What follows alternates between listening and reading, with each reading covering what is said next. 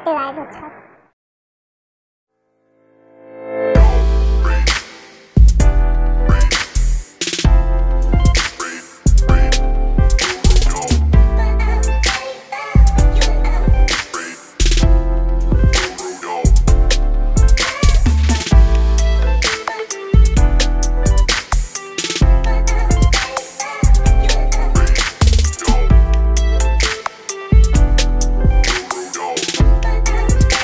everyone welcome to my channel and मैं हूँ Ankita and आज की वीडियो बहुत ज़्यादा स्पेशल है। एज़ आप मुझे देख रहे हैं एक न्यू लुक में एंड एक न्यू हेयर स्टाइल के साथ।